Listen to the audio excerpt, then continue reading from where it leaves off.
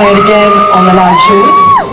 And I was never keen on this song when I first heard it, but this is now my favourite song to perform. This is Sorry Seems to Be the Hardest Word.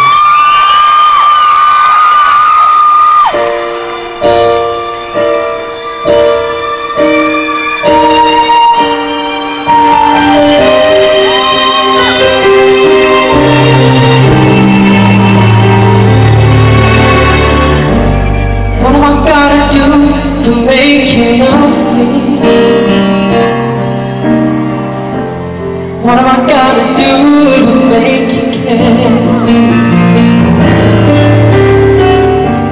What do I do when lightning strikes me?